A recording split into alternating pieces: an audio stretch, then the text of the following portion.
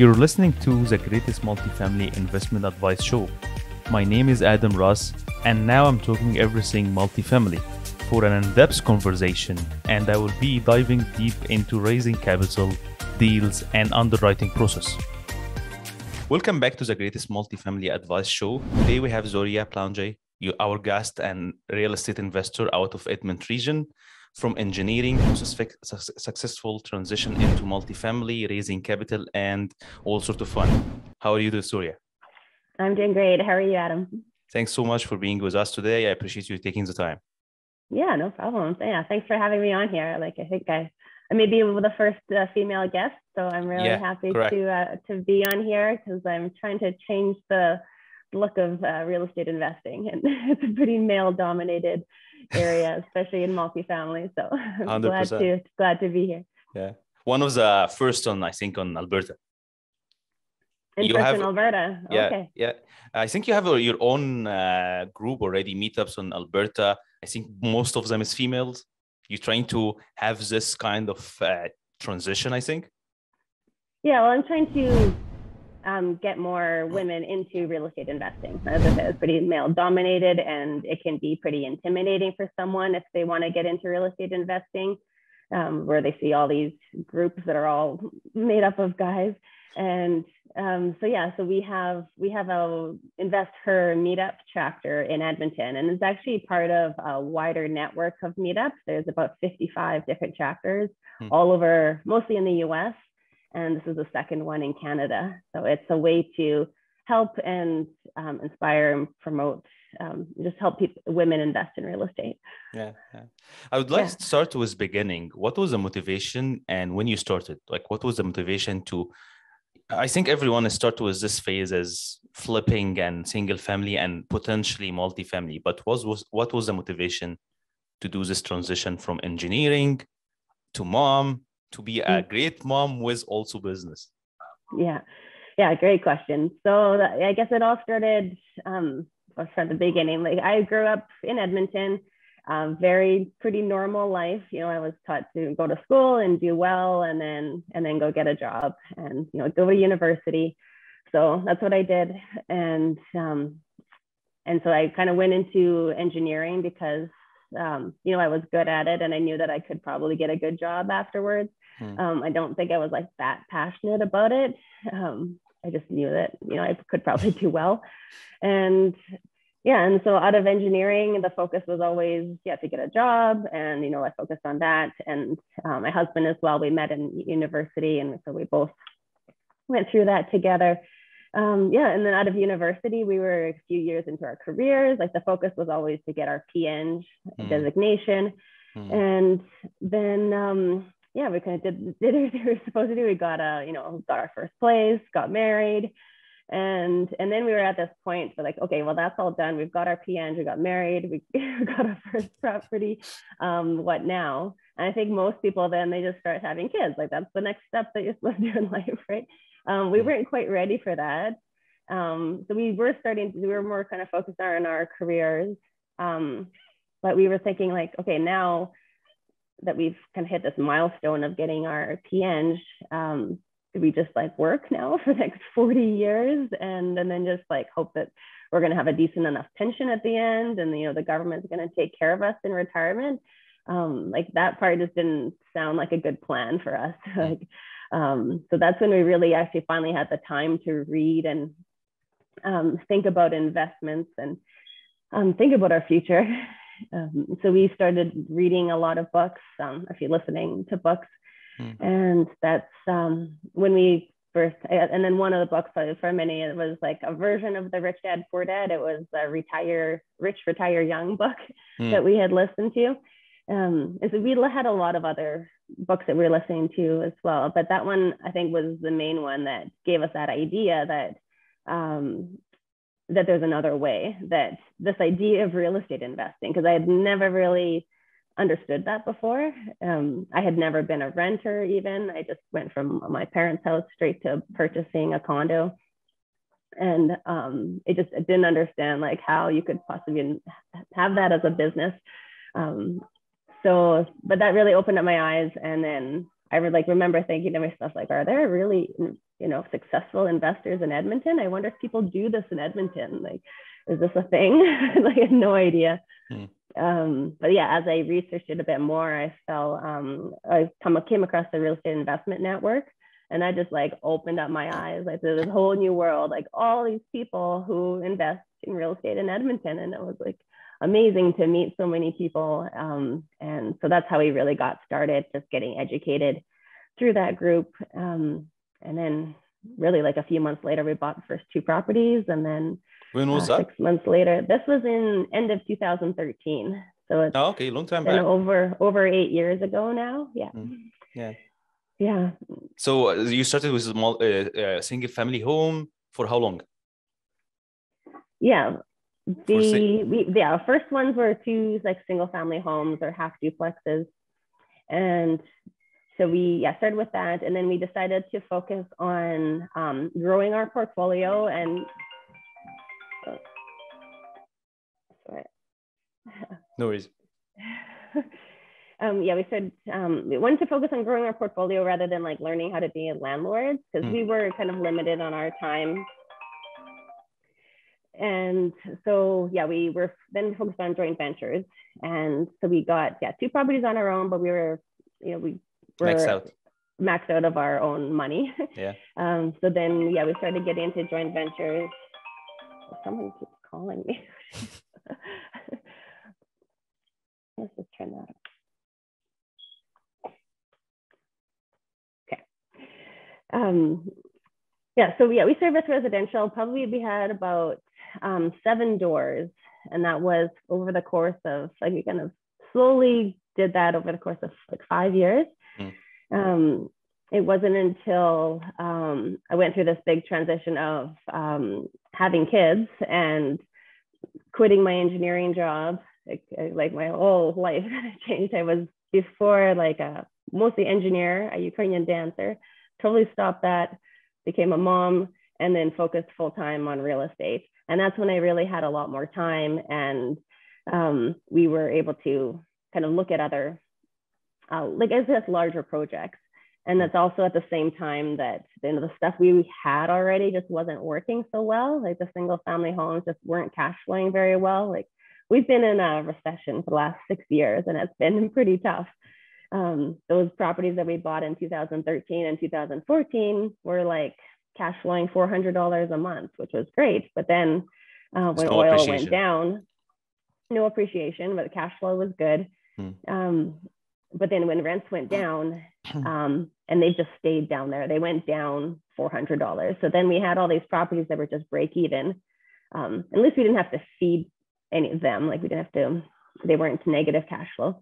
Hmm. But um, yeah, so it, they just weren't working very well. Like we wanted cash flow, so that's why we started looking into more um, multiple unit properties, multifamily. Hmm. Um, we were also like maxed out on mortgages. Our joint venture partners didn't want to qualify for mortgages anymore either. So all of that, it just made a lot of sense to just now get into multifamily. Yeah. Yeah. yeah. So what is your target market right now and criteria about multifamily? Like you're focusing on 10, 20, 50 unit buildings. So what is your actual, I think you're focusing more in, in Alberta market? Mm-hmm. Yeah, well, overall, we focus on landlord friendly locations, um, multifamily, smaller multifamily for now. We are getting to larger projects. Um, but um, yeah, landlord friendly locations, family friendly rentals, and on the newer build side, like all of even our initial residential properties were all like less than 10 years old when we bought them. Hmm. Um, and then over the last five years, I've been focused on pre construction, new build properties. So, um, what was the upside about uh, focusing? Because this is a different approach here.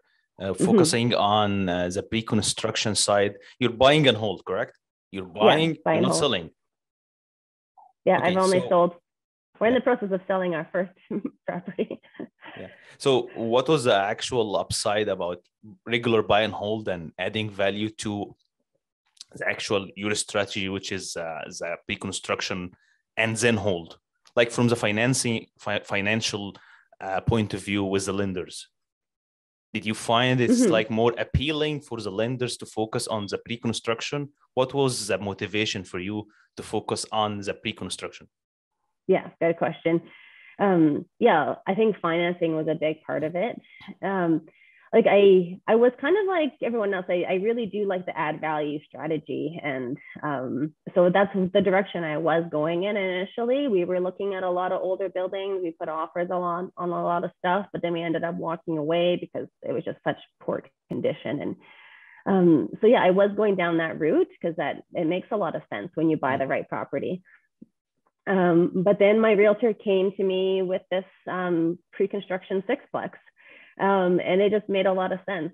Um, it actually is three residential properties, but because um, there's six units in total, I could put commercial financing on it, and that was like my main reason for going into multifamily is getting into commercial financing, which is so above I, five units. Anything above, above five units is exactly. actual commercial lending. Yeah, not residential anymore. Correct yeah so i saw it as a almost like an easy way into multifamily like this is i could use commercial financing um, everything else about it was really no different than what i had done before like it was fit into my portfolio with the rest of my properties i could keep my same property manager um, it's the same area as my other residential properties um, so and it just and but I could put commercial financing on it. So it was this the sweet spot that I found. so um, what was the loan to value to this? How much was the, the total price? This sixplex, uh, 1.35 million is what we paid for that. Long time and, back, I think. Was it? Long time back. Uh, no, well, we got that price in 2019. 19, okay, 1.35. Yeah, so, and uh, what was the uh, LTV? Loan to value, we initially got, um, we had to close with bridge financing, but then we refinanced with CMHC and got 85%. After, after uh, finalizing the project, correct? Yeah, like after it was fully tenanted yeah, and stabilized, yeah. then we refinanced it with CMHC hmm. and, um, and got 85%. That's good. That's good. And how yeah. long was the bridging financing was? Uh, it ended up taking six months. Good. So yeah. you, your actual agreement with the developer was only six months to deliver the six unit to you, correct? From oh no, I mean that that refinance process was six months. Not the, the refinance. Process... No, I mean uh, when you did the bridge financing for how long? The bridge financing was for six months. So the it was a pre-construction project where the the builder actually financed the construction. Okay. We didn't we we didn't do that part. Um, okay. The builder financed the construction. Um, construction took about a year. Hmm. And then at that time, uh, when we took possession, that's when we had to come up with financing. Hmm. Um, because uh, CMHC was really slow at the time, we hmm. couldn't get it when before closing. So that's why we had to go with the bridge financing. And then, yeah, and then six months after that, that's when we got the CMHC loan in place. Yeah, it's great. They said the LTV was 85. Uh, it's great with, with especially with Edmonton because you know CHMC is about uh, the actual um, uh, checking the rent market, and it's not easy to get high, uh, especially for their actual policy for the actual value of the rent. is not easy, but uh, you got a good deal, I think. Yeah, yeah. Yeah they and even though actually the price value was even higher than that um so but we got 85% of the, the purchase price which was which was and good. lower interest rate too of course. Yeah well that one we got a really good rate um what was that? one, 1.87 wow. wow. And now we're looking at doing the exact same thing like right now with our eight plex and um, the rates are double. Yeah it's almost 4 it. uh, 3.9 i think yeah, we're gonna we're probably gonna get about three point seven five. Not bad, not bad. But yeah, uh, yeah everything is going up. But uh, to be honest, uh, I want the rate to go up. Uh, the, the, the market is crazy, especially here in Ontario. I, am not sure what is the, the, the game here in Alberta, but um, this uh, going up, like this policy is going to be better for the business anyway. Like for the interest rate, yeah, maybe it's going to hurt your, your business a little bit for cash flowing part, but uh, eventually this is going to be a better investment uh, like environmental. Anyway yeah uh, yeah i think it'll kind of there won't be as much competition. I can see that. Yeah, yeah. Um, because with the higher rates um, it doesn't make sense with a lot of people like so they just you're not going to be able to hit your target. Yeah. Yeah. So you have to be a bit creative. that's why maybe you're moving to us um yeah that's part of the reason. Yeah, yeah Um, it's part a lot of it is to just for diversification as well. Like our whole portfolio of like 35 doors is mm. here in Alberta and like in Edmonton area. So um, part of it is wanting to diversify a little bit. Mm. So um, what is your get, get, into larger projects as well, which is a little bit harder to do in in Canada. Yeah, so price points. Hundred percent. So what is your target now? Which which which market in US you're uh, you're targeting now? Like uh, we're, we're focusing on uh, more the southern US. So not like any one particular state, but we're looking at um, kind of more of the landlord friendly states um, in the Sun Belt. So yeah, oh. Florida, Tennessee, um, even Texas, um, Alabama, the North and South Carolina. So we're looking yeah. in all of those areas. Atlanta um, and uh, I think is, is a promising Atlanta and Austin is uh, good markets, but uh, as you mentioned, the price the price tag there is also different for the price per unit, but uh, the, mm-hmm. the number is working and it's more investor friendly to be honest than Canada. Yeah, well, especially in Ontario, it's yeah even Alberta is more investor friendly, but I think it's even even more in some of those states.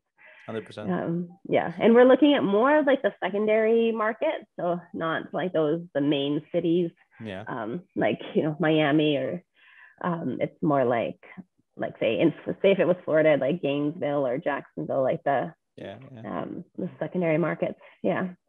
So uh, your business model now is based on uh, multifamily. I'm not gonna say land development because you're doing uh, uh, an actual um, reconstruction after all of the pre-development and zoning and all of the stuff. But uh, you mentioned that you're um, you're you're you're going to the U.S. market. Uh, what was the challenge for you to, to invest in U.S.? Yeah, well, the challenge is that it's a lot of things are different. Um, even though like you know, multifamily in in theory is the same, like the same, you know, principles and the, you know, how you analyze a market, how you uh, underwrite a deal is is pretty similar, but you are still going to a new market and you need to develop a new team. Hmm. Um, the whole cross-border stuff you need to figure out. Um, so there's a big challenge when getting started in a new country. Right? It's every it's pretty new. Um, yeah, you basically need to have some boots on the ground. So that's why I'm not doing it on my own. I'm partnering with other experienced investors who already are investing in the US and um, partnering together to do these larger projects. So that's how I'm kind of doing it and mitigating a lot of my risk mm. um, because I'm, it's, it, yeah, I don't want to make all those mistakes by myself. uh, I think this is coming from the engineering discipline mindset this is where the engineers probably yeah, yeah. i like to mitigate my risk yeah, yeah 100% yeah. Yeah, so, so i like i do a lot of learning and yeah before just jumping in. So right now the one of the issues, is as you mentioned uh, moving between us and canada is the price per unit. So right now in edmonton we're talking about 120 i think per unit or it's getting much than this? Yeah it's probably going up now. I think it's about one 100 a door 110 like but that's for the older product. Yeah. Um for my like pre-construction multi-families it's it's closer to 250 a unit yeah yeah um so yeah it's a lot higher uh in the us we're looking at stuff at as low as 30,000 a door. Yeah, yeah, yeah. In Jacksonville, yeah, it's 30 and 40,000 dollars. Like you can yeah. have like a, I'm not sure, like a 100 unit with $3 million. Yeah. Yeah. Yeah. Yeah. yeah. yeah. So you can get yeah the larger projects and um, yeah that you, you just can't you just can't find that here. So reg- regarding the mass here, so regarding the mass here, um, you mentioned the the actual uh, price uh, like uh, with older units was 110 versus a new pre-construction was 250 but the actual mass is not this is 110 plus as the actual adding value because you have to if you want to add value and make a, an actual profit on the project and raise the NOI so what was your mass to decide? Because I think this was part of your calculation as an engineer first of all and and as a, a business uh, uh, business owner uh, to do this transition to focus on pre-construction. What was your mm-hmm. mass between the 250 and 110 what was the actual actual number? Like 180 how much are you going to spend on the actual unit? Oh like the mm. actual cost of the yeah the actual cost like like yeah yeah like including adding the value contractors and all of this stuff. Because i see that clearly you decided that it's making more sense to do a new unit reconstruction 250 because it's giving because the price range getting up and up and up. Yeah yeah i don't think we did it because it was you know we're buying in the kind of retail prices like we're not getting a huge deal on the purchase hmm. um, the attraction is that it's brand new um, it's easy to finance it's easy to attract like really good tenants like hmm. it's an a class building in like an a neighborhood yeah. Um, and it's a perfect buy and hold, right? We can hold on to that for 40 years and it would be great. Um, and we don't have the risks of, you know, having old electrical, old plumbing, like high insurance costs and mm. all of that. Yeah. Um, but still, and then it's easy to finance, easy to get this new CMHC MLI Select the financing as well, um, so that it cash flows. Um, but yeah, when we were not involved in the construction side of it, so um, our price per door was um, well for the first sixplex it was more like 225 a door hmm. um, and it's higher because it's not just the typical apartment style like um, half of the units are like 1500 square feet townhouses mm, okay. um, with That's three big. bedrooms two and a half baths um, it's it's like a house with a garage and a yard and a deck um, so that's why it's much higher and then there's, and then half the units are one bedroom apartments, which are on ground level. They also have a garage and some outdoor space. Um, all of the, all they have um, their own entrance. So it's, um, it's not your typical apartment building. So it's, that's why it's a little bit of higher, higher cost.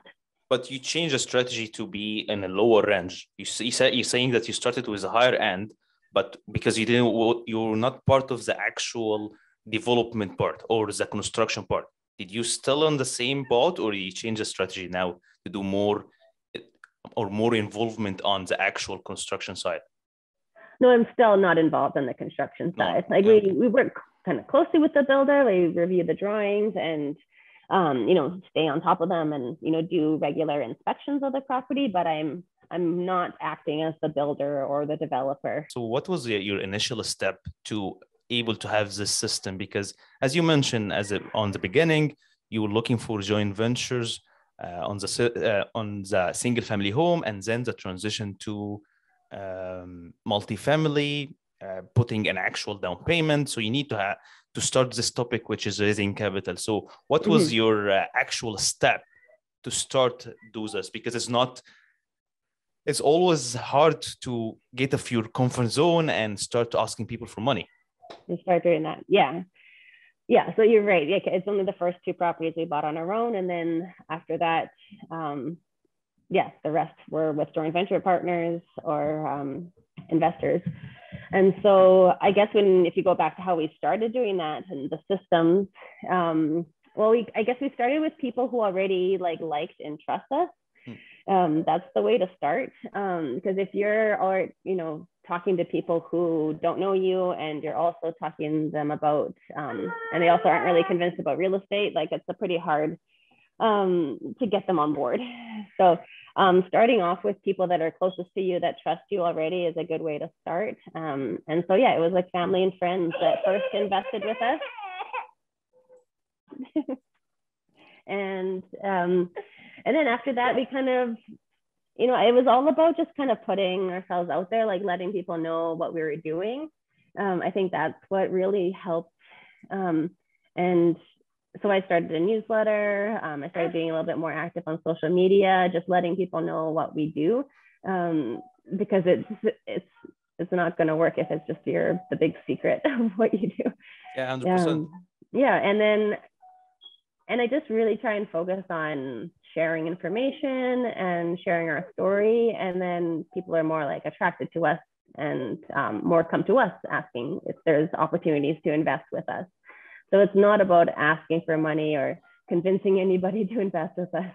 Uh, it's um, it's kind of um, showing that there's this opportunity, and um, yeah, it's more people coming to us. And then when I do have um, opportunities, um, I kind of have this this network of people that um, I know that are interested in, in future deals. So when I do come across something, then I can go back to them and say, okay, well, this is what, um, you know, kind of what we talked about. You said you'd be interested, and then um, kind of go from there. So did you have a, did you started already uh, working on the security laws? Like, did you start to focus on qualified investors or you're focusing only on the actual uh, joint venture part? At the beginning, they were joint ventures, so we didn't really um, have to worry about the Securities Commission and those rules at that point because if your joint venture partner is on a mortgage and on title, then um, you're not selling securities, you're just buying a property together. Yeah. Um, but with our multifamily, that's when we did have to, um, you know, be aware of that a lot more because mm. we structured it as um, a corporation and then we sold um, shares in the corporation, and then the corporation owns the building. So, when so you're shareholder selling, agreement through a shareholders agreement, hmm. yeah. And so when you're selling shares, that's a type of security. So then you have to be um, following the rules, and so yeah, we do it under the, the private placement exemption, which includes friends and family and business associates and accredited investors. Okay, okay. So uh, the next question will be. Uh, the constant uh, flow of uh, stream of deals. So, what is your strategy basically for finding deals? Is it a MLS uh, of market deals uh, through an actual uh, relationship with with uh, commercial realtors? So, how you get the flow constant for you, especially that you've been not mm-hmm. long time in the market. I think five years on the multifamily right now. So, what was your strategy, especially on the beginning? Because you're going you're always going to be on the uh, bottom of the list of uh, as a commercial realtors when you're starting relationship with them how you yeah. basically con- convince them to give you deals yeah um, well i guess my where i got these deals from because i've done like a sixplex um, and then an eightplex and then we have two more sixplexes under construction Hmm. Um, those were all through one realtor that I already had a relationship with hmm. um, through the residential side. Yeah. Okay. Um, so I kind of already had a relationship with them, and and then once I purchased one, then I became kind of known on someone who can actually purchase and actually close on these properties. And mm. so when another one came up, then um, they came to me and said like, "Are you ready to do another one?" And then and then the next same thing next for the next one, like, "Are you ready for another one?" Like, "Yep." So that, um, once you kind of do one in a certain kind of strategy, then it's it's a lot easier to keep going. And so, but yeah, you're right. That initial one is tough. Um, so for me, it was because I had a previous relationship with that realtor. Mm. Um, but I'll tell you, like on the other side, like I we did, we did we le- were looking at uh, older multifamilies as well, and the way that we found those deals, um, like we didn't end up um, closing on them but um, that was actually through um, commercial realtors who didn't actually focus on multifamily exclusively. Mm. Um, so p- ones that deal with, um, you know, other um, commercial like industrial, mm. retail, land. So they're commercial realtors, but they don't have as big of a buyer's list for the multifamily side. Yeah. So if you can get to know those types of commercial realtors, then when they do come across a multifamily opportunity, then you are higher up on that list, I guess, um, yeah. to hear about it. Good strategy, I think. So yeah, because the actual commercial is gonna be hard. The actual commercial realtors, you're not gonna choose you at the beginning because you're the bottom of the list. But this is really a good note. Like uh, I, I like this strategy yeah. again. Yeah, engineering mindset. yeah, yeah, because then there are certain realtors who just focus on multifamily, and you're right, they have a lot of um, lot of buyers that they know that can close, and um, yeah, it's yeah. hard to get on that list. Um, and the other way to do it is to, I guess, to find um, a realtor who would more work with you as a buyer's agent, um, which is a little bit more uncommon in the, in the commercial side. Mm. Um, but um, there are um, a couple that I know that um, kind of similar where there are commercial realtors, but wanting to get into multifamily a little bit more. And so they don't have the listings, but they're willing to work with you as the buyer's agent. Hmm. So working with someone like that um, and using them to connect with other realtors um, would would help a lot.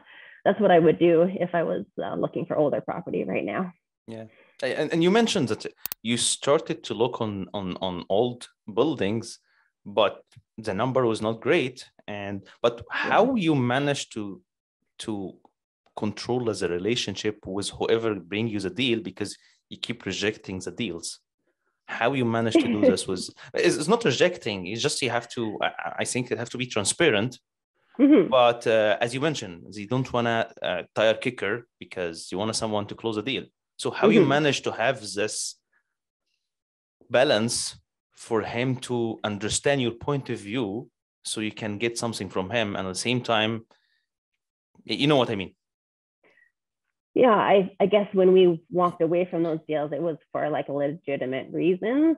Um, it's not just like, oh, we can't get financing because we weren't prepared enough and we didn't have the capital. It was because we did our due diligence and there's some major issues with the property hmm. and the seller was not willing to come down in price. Um, so it just didn't make sense. And the realtor agreed with that. They, um, it made sense that we were walking away for that reason. It just, yeah. there was no, we couldn't agree on a price. And so I think, um, yeah, we weren't like just just walking away really for no reason because we weren't prepared. So I think that if you have kind of a legitimate reason why you're walking away, that makes a yeah. difference. And then and then but because of that, we walked away from the one deal. Then he did bring us another one um, in the same area because he knew that that's where we wanted to buy. And um, yeah, but unfortunately, the same thing. And that one, we actually spent three months of due diligence. Um, and you know spent money doing the inspections of the roof and the sewer and everything and and that's when we found out that yeah also big issues with the problem across the property would require a lot of work a lot of mm. money to repair um, and so we wanted a you know a reduction in price because of that and the sellers didn't want to do that so mm. again walked away um, but yeah, all of that was a really good learning experience. And we realized that, yeah, there's, there's a lot of risks in these older buildings. Hmm. Um, you do need to do your proper inspections. Um, and then, yeah, just getting insurance costs are so high, but that's why I, I like think, a new build. yeah, I think this is a good approach anyway. As you mentioned, you're not wasting the guy's time. You're doing your due, due diligence.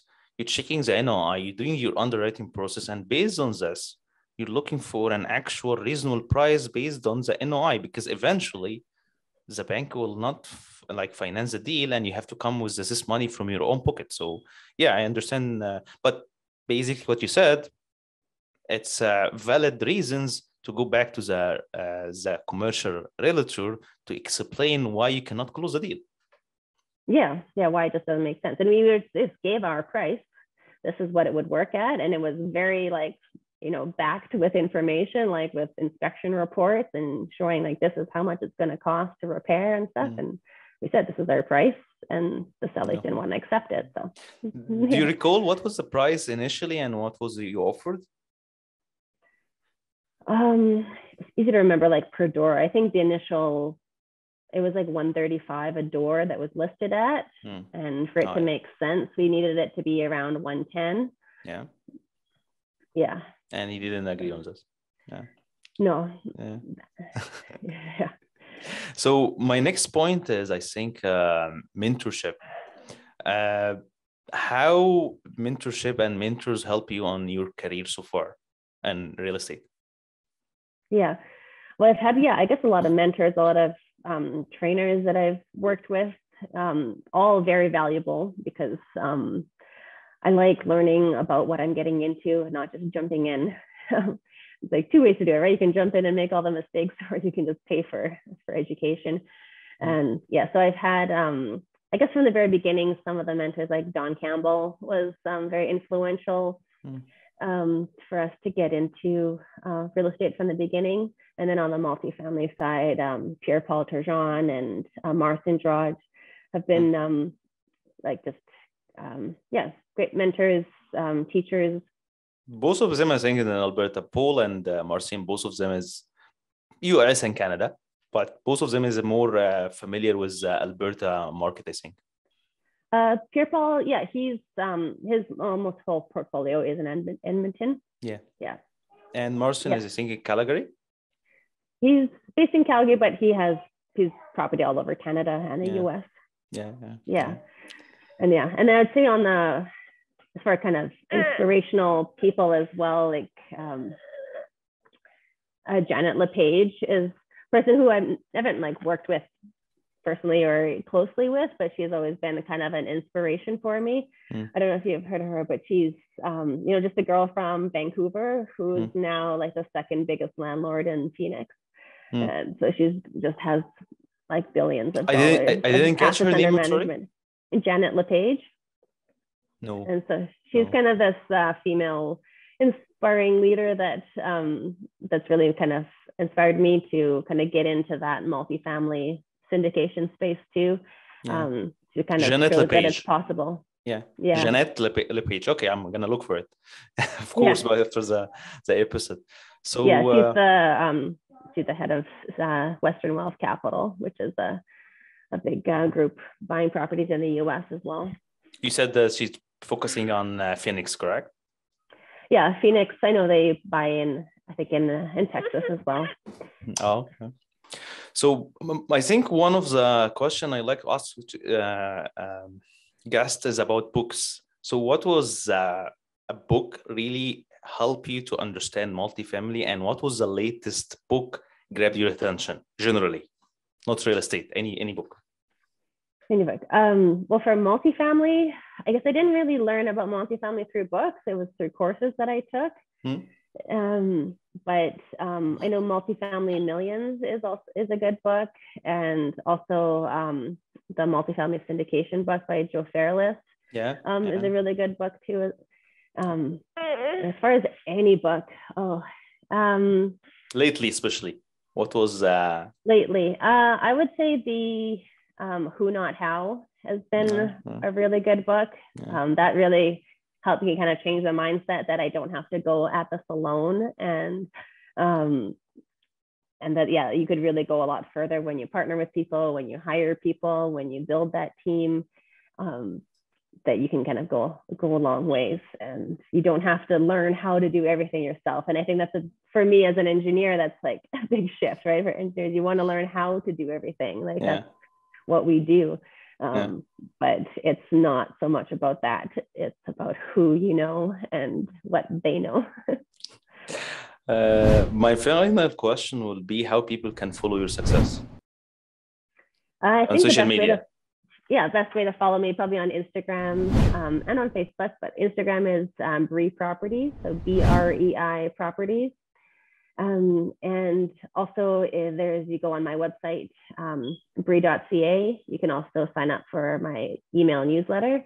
And there, um, so I have a monthly newsletter that I share kind of what we're doing. And sometimes I share things on there that I don't share on social media. So if you want to know a little bit more about the stuff that we're doing and like different opportunities, um, then that's a good way to follow us as well. Thanks a lot uh, for being with us today. And we really appreciate, appreciate having the time. And I hope that we can uh, bring you in again to the show. Well, thanks a lot for having me. It was fun.